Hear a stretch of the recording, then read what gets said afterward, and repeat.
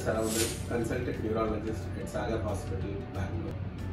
On 29th October every year, World Stroke Day is observed.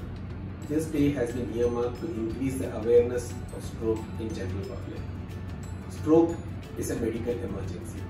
Stroke is a, one of the preventable neurological disorders. Stroke can be completely cured in some patients who present to the hospital early. One of the preventable conditions which can reduce the risk of stroke is sedentary lifestyle. Sedentary lifestyle or decreased physical activity or prolonged sitting.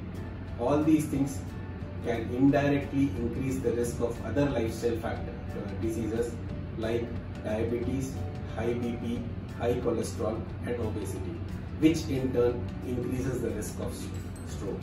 So it is a recommendation that you have a regular physical activity of minimum 20 to 30 minutes of brisk walking daily.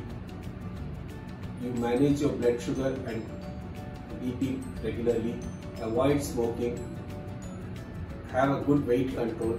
All these risk factor modification can reduce the risk of stroke in any person. Thank you.